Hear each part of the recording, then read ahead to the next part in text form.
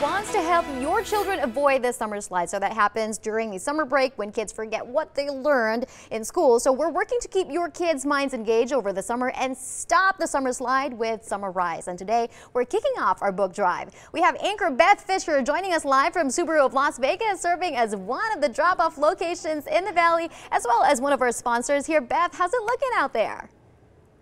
We're so stinking excited because we've been talking to lots of community partners about how kids need to get books in their hands in the summer months, and that helps stop the summer slide. So we've got places all over the valley where you can drop off your books, including the beautiful Subaru of Las Vegas. We've been checking out all the cars. I'm with the general manager, Burton Hughes. Thanks for being here. It's a pleasure. Why is education, why is reading, why is the book drive important to Subaru? Well, a lot of automotive brands focus on sales. Mm-hmm. Subaru focuses on their love promise to the communities and the and, and the cities and, and and that one of those love promises is Subaru loves learning.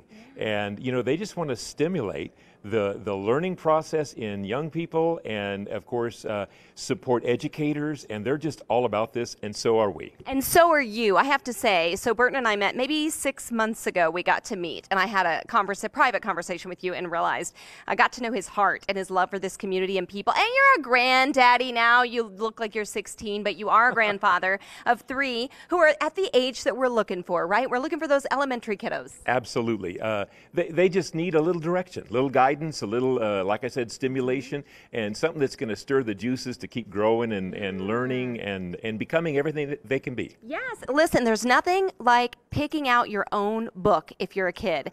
If kids get to pick out their own book, they're more likely to read it. We know that if they're reading from a very early age, they're more likely to love reading. So stop by Subaru of Las Vegas. What if they just want to sit in your car, get the new car smell, and drop off a book? That's me. I would say come down here and bring your pets because we have a dog park and just hang out. Enjoy the cars, enjoy the coffee, and uh, you know what? If you have a book you can bring, bring it. A dog park. Okay, and then this. Look, just come on. Get out of town with this.